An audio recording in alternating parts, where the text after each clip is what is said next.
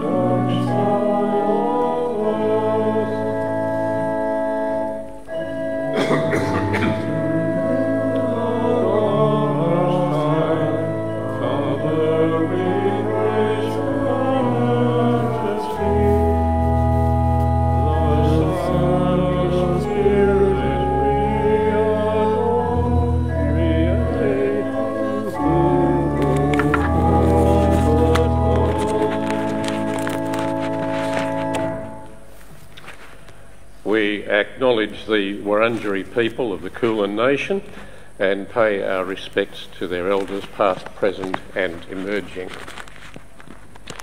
The grace of our Lord Jesus Christ and the love of God and the fellowship of the Holy Spirit be with you all. Let us pray.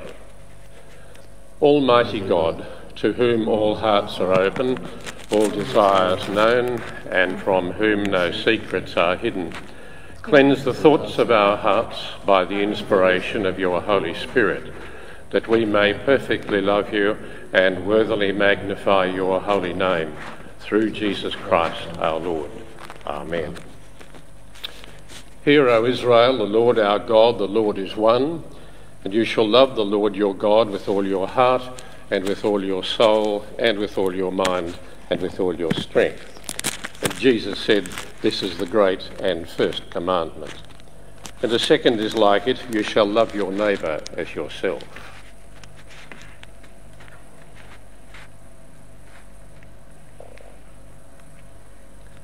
Let us therefore bring our sins before the one true God in penitence and faith.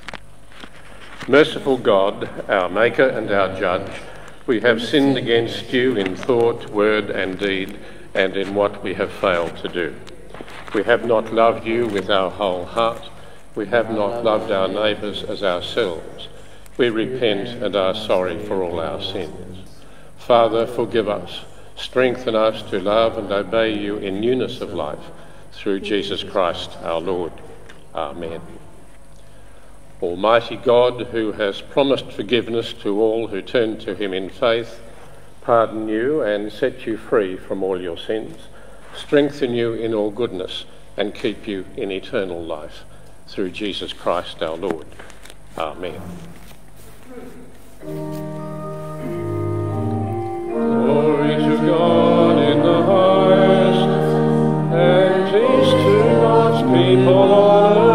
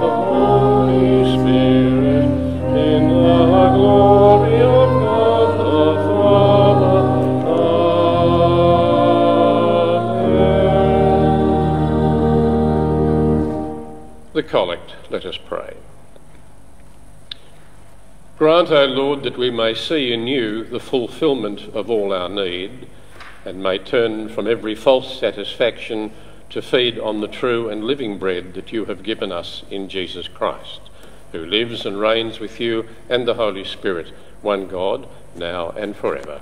Amen.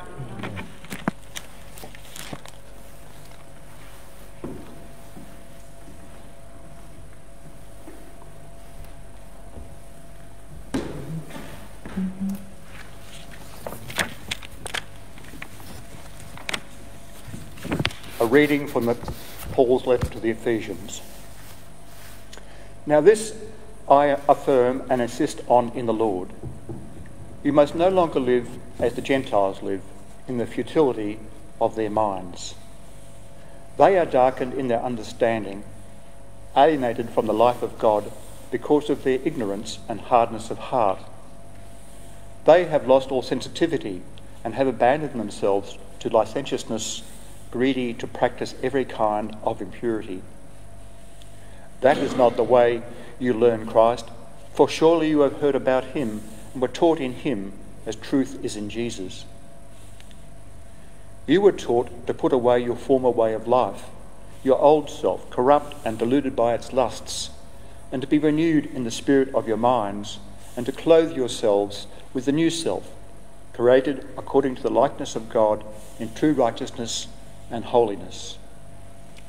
So then, putting away falsehood, let us all speak the truth to our neighbours, for we are members of one another. Be angry, but, but, but do not sin. Do not let the sun go down on your anger, and do not make room for the devil. Thieves must give up stealing. Rather, let them labour and work honestly with their own hands, so as to have something to share with the needy. Let no evil talk come out of your mouths, but only what is useful for building up as there is need, so that your words may give grace to those who hear. And do not grieve the Holy Spirit of God, with which you are marked with, with a seal for the day of redemption. Put away from you all bitterness and wrath and anger and wrangling and slander, together with all malice, and be kind to one another, tender hearted, forgiving one another, as God in Christ has forgiven you.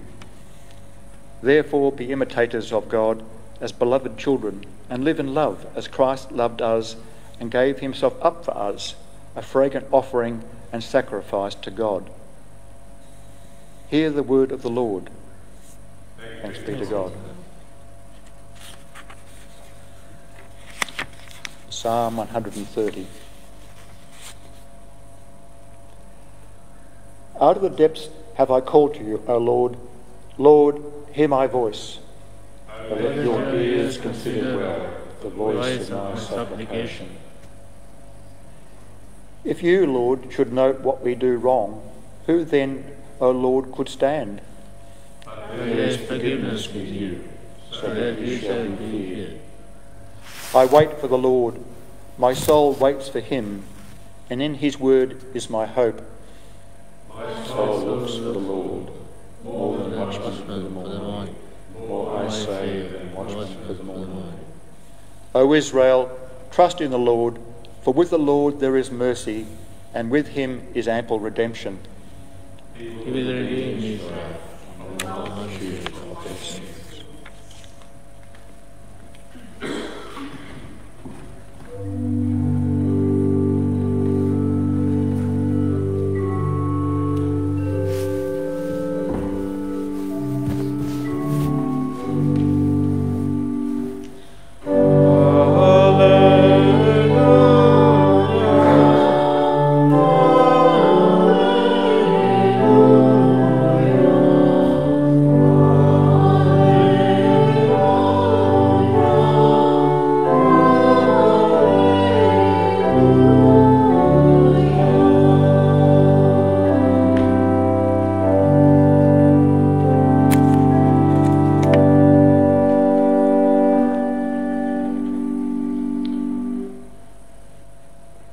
Gospel of our Lord Jesus Christ according to John.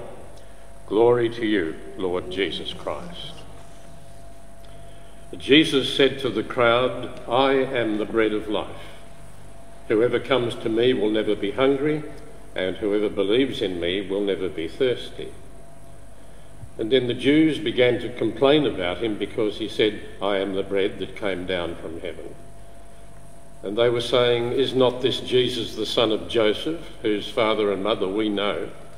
How can he now say, I have come down from heaven? And Jesus answered them, Do not complain among yourselves. No one can come to me unless drawn by the Father who sent me, and I will raise that person up on the last day. It's written in the prophets, and they shall all be taught by God. Everyone who has heard and learned from the Father comes to me. Not that anyone has seen the Father, except the one who is from God. He has seen the Father. And very truly, I tell you, whoever believes has eternal life. I am the bread of life. Your ancestors ate the manna in the wilderness, and they died. This is the bread that comes down from heaven, so that one may eat of it and not die.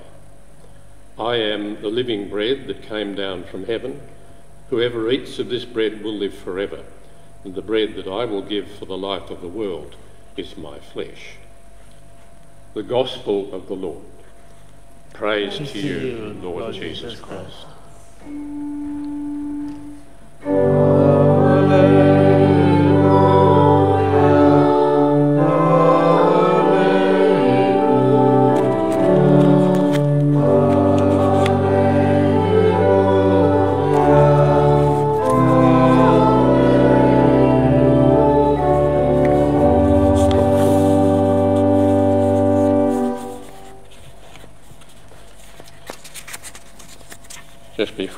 preach, um, rather than include it in the sermon as such, uh, our gospel readings have been overlapping in recent weeks, and um, we concluded last week's gospel with Jesus saying, I am the bread of life, and the compilers of the lectionary have included that verse again as the start of today's gospel.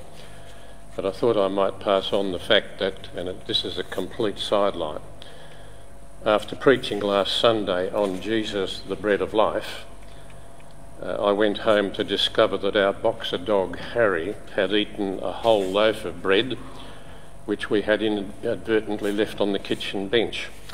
And uh, people wonder whether God has a sense of humour. In the name of the Father and of the Son and of the Holy Spirit. Amen. Today's Gospel I think calls for a short reflection on what we might mean and what that might mean for us as recipients of the sacrament of Holy Communion. And uh, there's a very real sense when we're streaming services now that we're not actually recipients as such. I thought we might think about uh, aspects of that just a little. Attitudes have changed as to the nature of the consecrated elements of bread and wine in the Eucharist over the years and uh, about what we should believe about them. As for transubstantiation, uh, which some seem to think is still the underlying belief of the Roman Catholic Church, I'm safe in saying that the, the Roman Church doesn't teach that anymore. But as a place for us to start, let's go back only as far as the 13th century only as far as.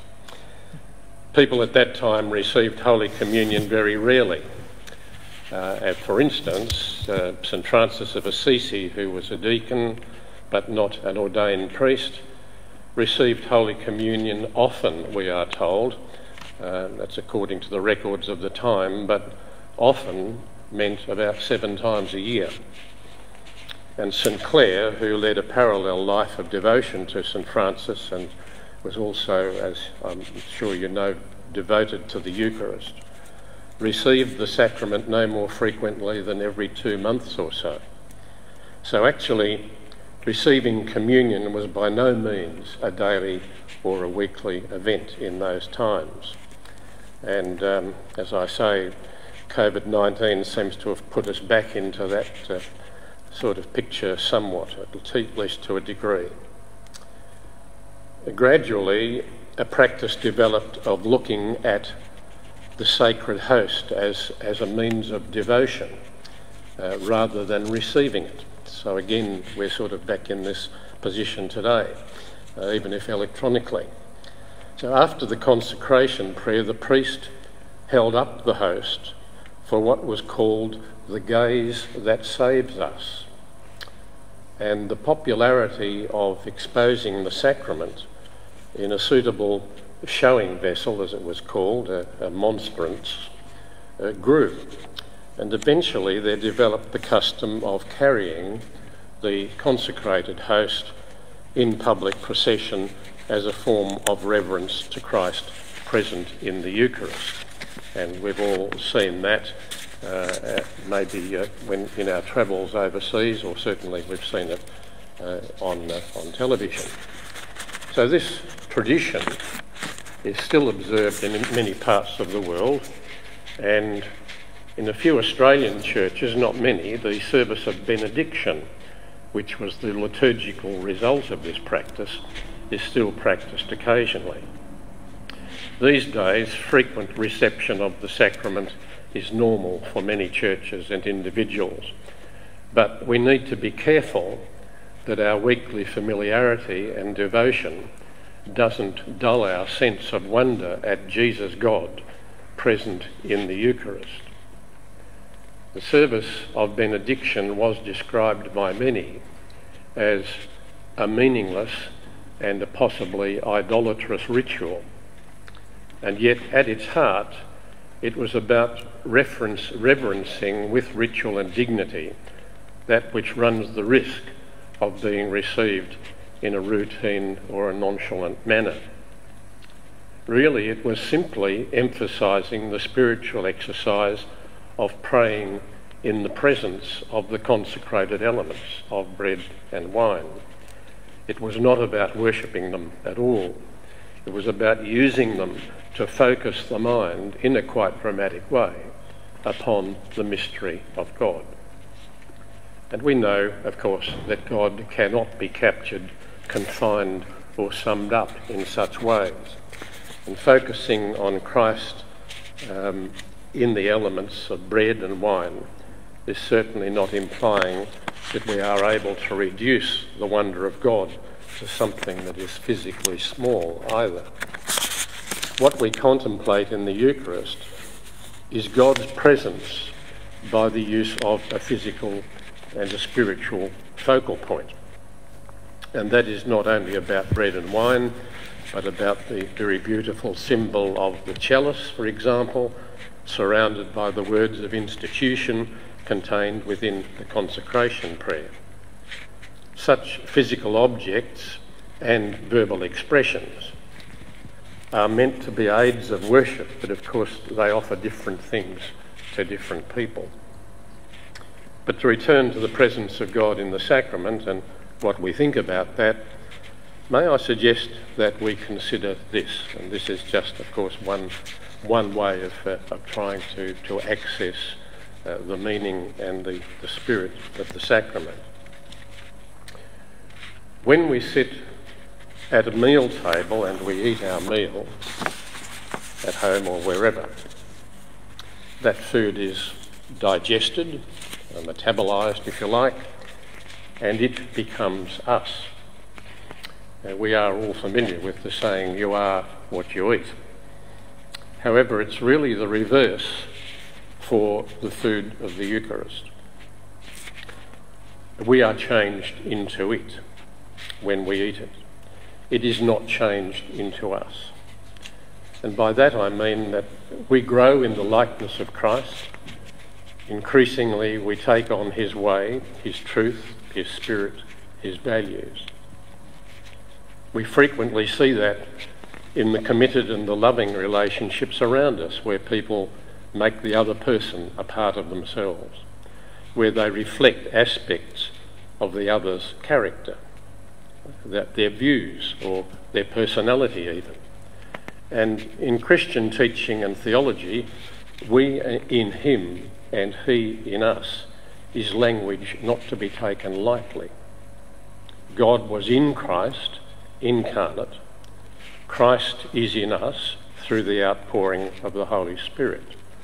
Holy Communion is the expressing of that intimacy, that beautiful intimacy, sacramentally. And that's one reason why the quantity of both bread and wine we, that we receive at Holy Communion is largely irrelevant. This is spiritual food, it's not physical sustenance. This is about the spirituality of worship, it's not about feeding our physical needs. And we reflected on that to some degree last week. We can be sure that we are not alone in our quest to draw, to draw near to God in this way. We need to feel okay about blending our own understandings of such things with the teachings of the church and to give them meaning for us. The meaning they have for us is important and it's valid. Scholars and thinkers down through the ages have done exactly that.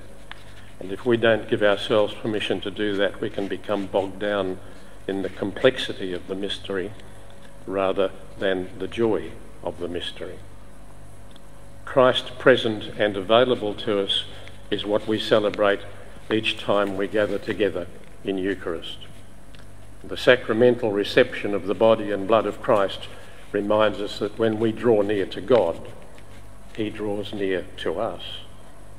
And we pray for the time when we can again do that physically, regularly, in community. The Lord be with you.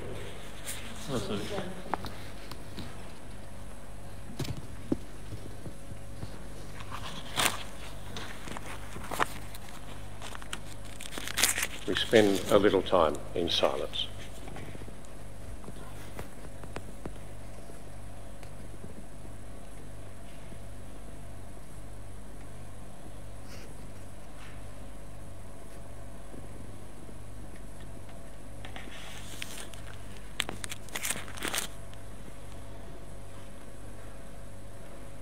we express our shared faith, our corporate faith, in the words of the Creed.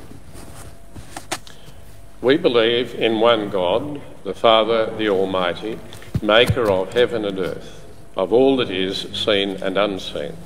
We believe in one Lord, Jesus Christ, the only Son of God, eternally begotten of the Father, God from God, light from light, true God from true God, begotten, not made of one being with the Father. Through him all things were made. For us and for our salvation, he came down from heaven, was incarnate of the Holy Spirit and the Virgin Mary, and became truly human.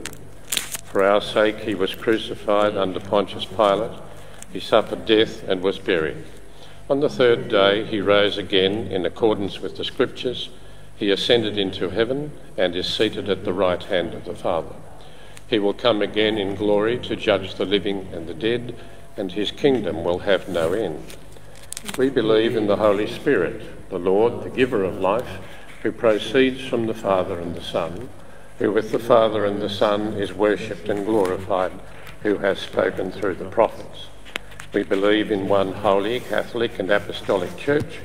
We acknowledge one baptism for the forgiveness of sins. We look to the resurrection of the dead and the life of the world to come. Let us pray for the world and for the church.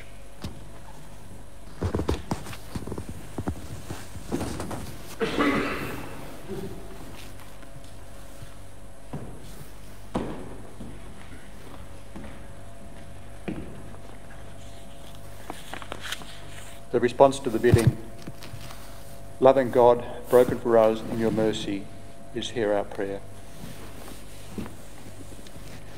Dear God, we call to you out of our depths, from the depths that only you know, for we abide in you.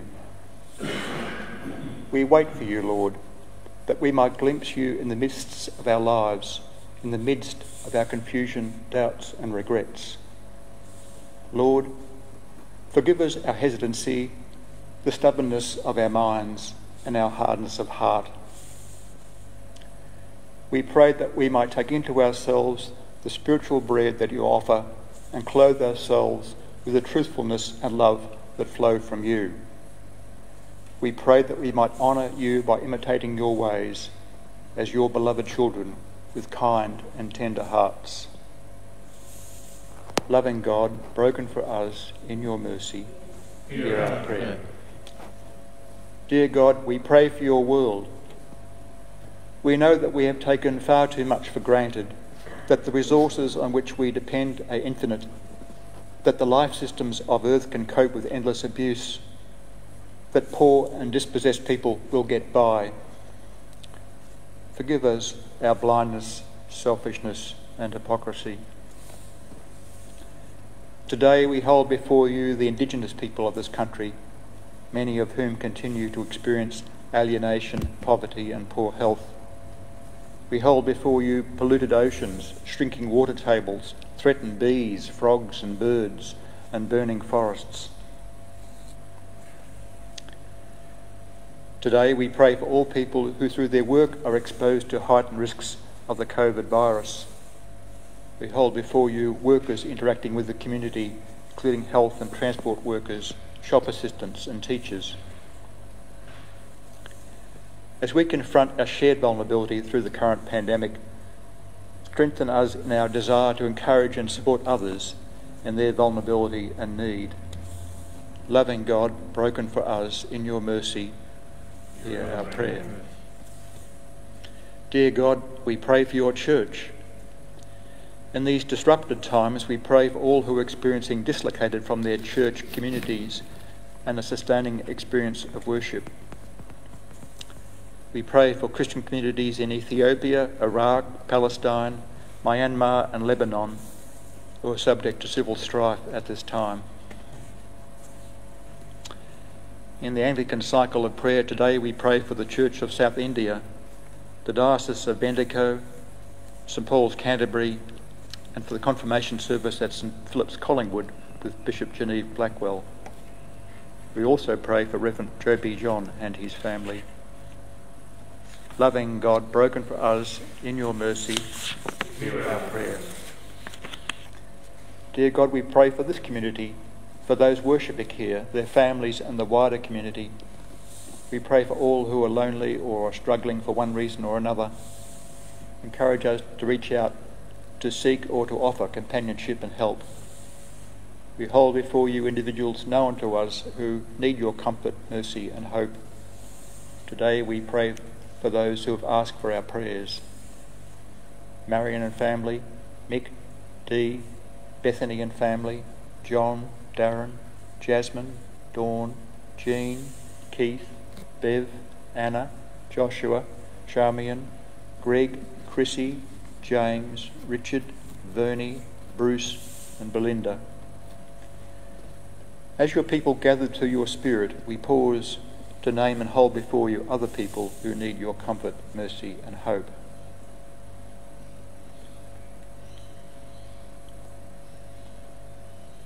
Loving God, broken for us in your mercy, hear our prayer. Dear God, we give thanks that you have gone before us unto death to prepare a place in heaven for all who would love you. We give you thanks for prophets and apostles, for martyrs and evangelists, for the faithful people of this parish that have gone before us. Remember those from this parish whose anniversaries of death occur this week Stanley Beaumont, Robert Lawson, Rob Burns, John Sells, George Cockram, Norman Shankly, and Lily Sells. Help us to follow in the footsteps of your saints so that we, like them, at the end of our days may be gathered into your eternal presence. Still our fears, Lord, and enliven our souls. Loving God, broken for us in your mercy, hear our prayer.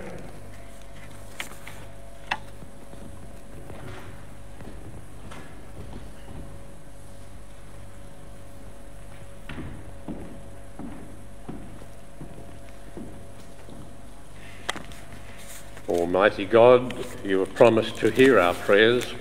Grant that what we have asked in faith we may, by your grace, receive. Through Jesus Christ our Lord. Amen. The peace of Christ be always with you.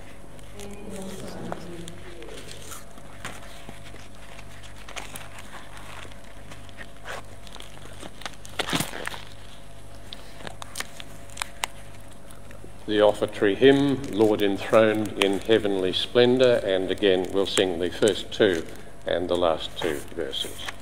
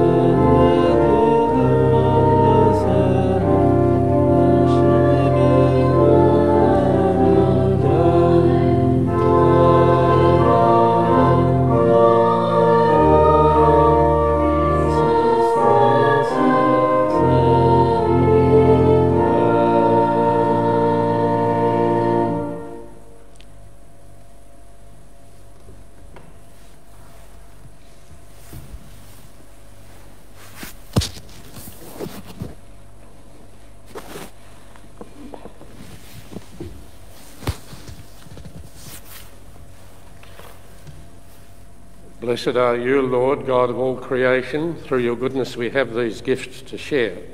Accept and use our offerings for your glory and for the service of your kingdom. Blessed be God forever.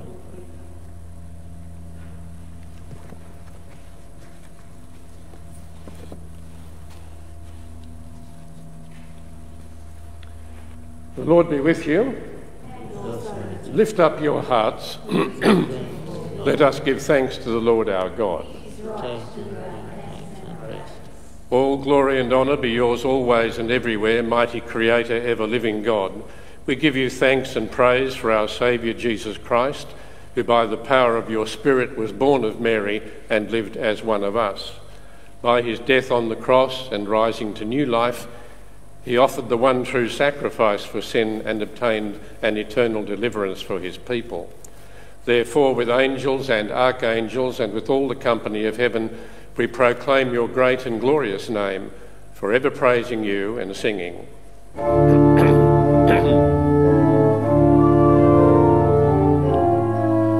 holy,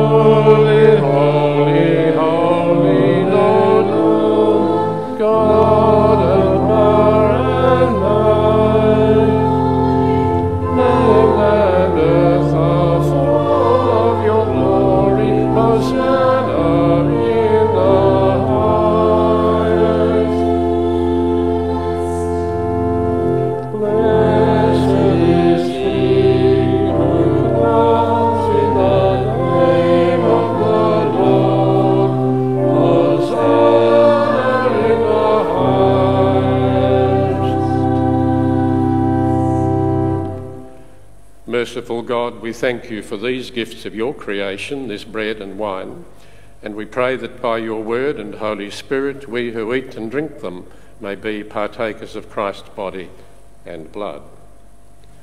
On the night he was betrayed, Jesus took bread, and when he'd given you thanks, he broke it and gave it to his disciples, saying, Take, eat, this is my body given for you. Do this in remembrance of me.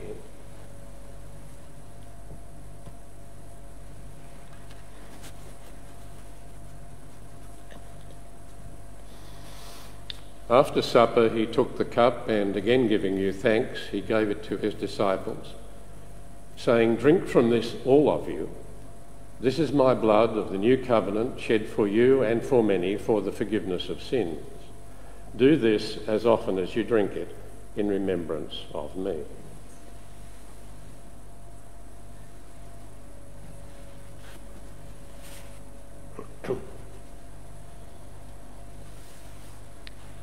Let us proclaim the mystery of faith. Christ.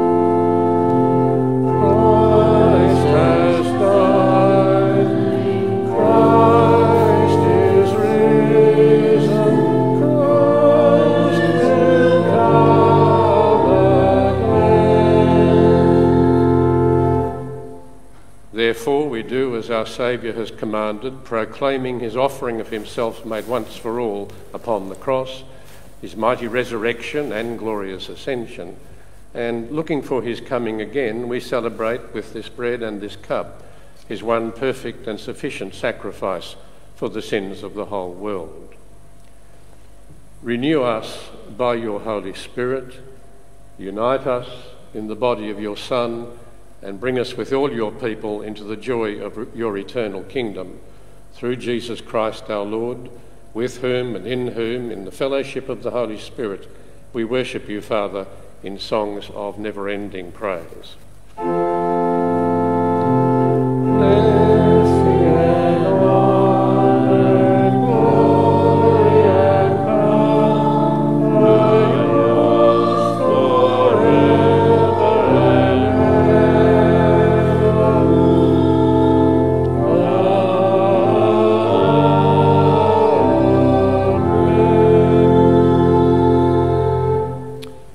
Our Saviour Christ has taught us, we are confident to pray.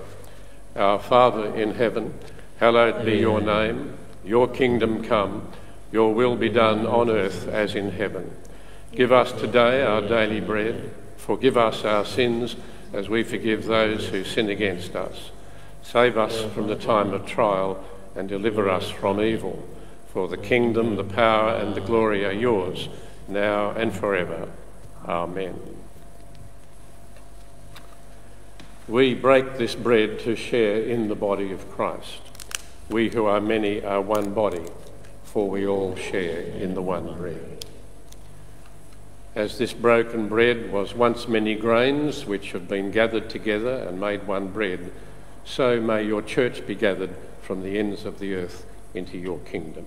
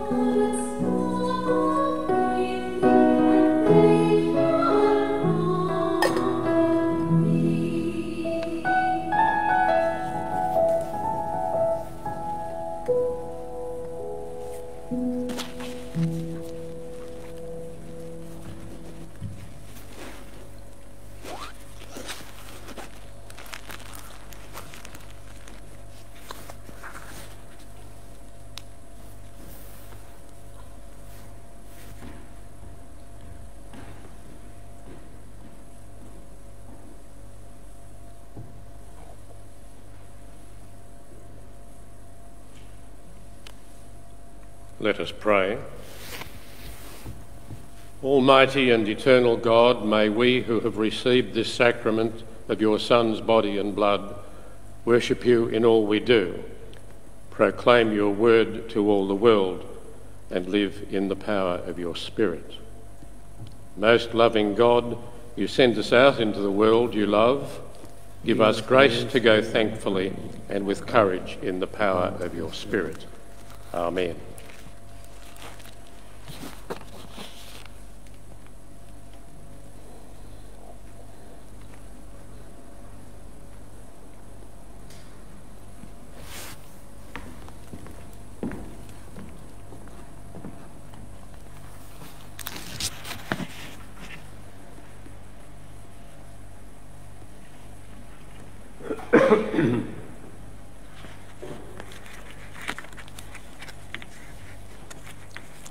Uh, not very much by way of notices, uh, except to say that um, you'll be aware that the working bee uh, had to be cancelled uh, yesterday.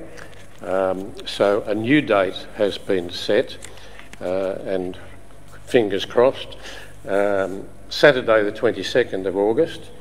Uh, all things are unpredictable, as you realise at the present, but please make that, keep that new date in your diaries if you would uh, Saturday the 22nd, and we'll see how things work out. Um, I also wanted to mention, uh, although he's not here, John McKenzie uh, was here earlier this morning helping to, to set up in, in many ways. And um, had he been here serving, uh, it would have been 60 years since John was first a server at the altar.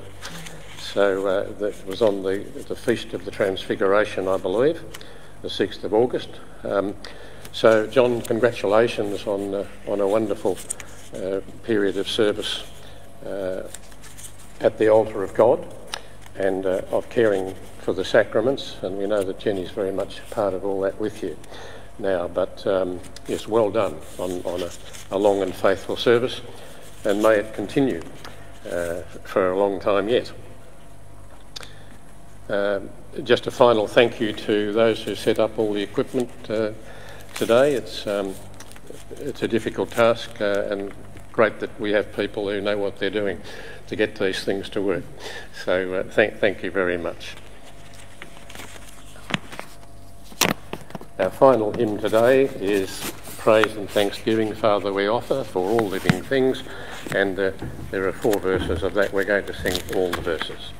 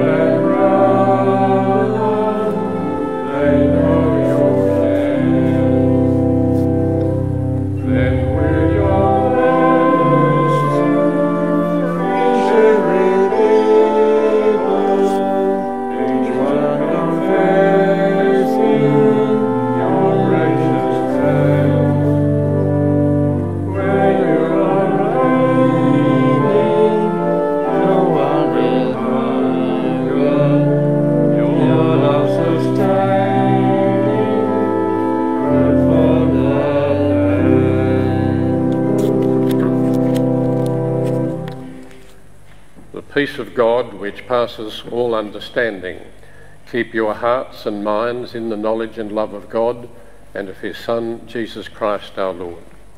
The blessing of God Almighty, the Father, the Son, and the Holy Spirit be among you and remain with you always. Amen. Go in peace to love and serve the Lord in the name of Christ.